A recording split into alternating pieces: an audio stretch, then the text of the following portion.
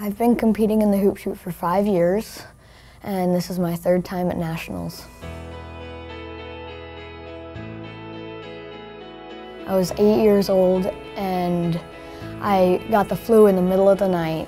I woke up in the morning and tried as hard as I could to convince my parents that I was feeling fine and I could do it. He was so sick, uh, but he was determined. He was going to go to this competition.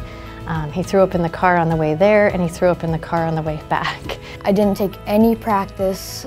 I just sat up there just praying that I was, wouldn't get sick all over the court and Made it through without any problem, shot 17 for 25, and made it out of that competition, fortunately. He did a great job and he won and we got to keep going and we just keep going. Uh, he went, the next year he went to um, nationals uh, when he was nine.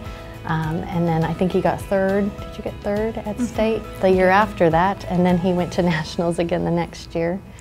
Um, and we're back again this year. About two weeks before the competition, we start going in in the mornings and getting up 100, 200 shots. And after school, sometimes we'll go in and get up some shots. And you, we try to get mentally tough. We're going for 25, we're striving for 25. We're not okay with 24 or 23. We want to hit 25 to win this. If you're not nervous, then I, I don't know how. You just try to focus as much as you can on your shot and how many shots you need to make, and the nerves will come. That just happens. He always tells me that um, he sings a song in his head while he's shooting, and that way he doesn't get quite so nervous. Kind of takes my mind off the pressure when I'm just going over the lyrics in my head. The hoop shoot has taught me more life lessons than it has basketball lessons.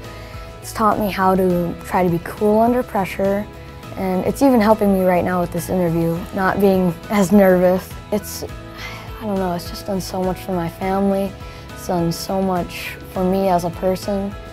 And I'd recommend it to anybody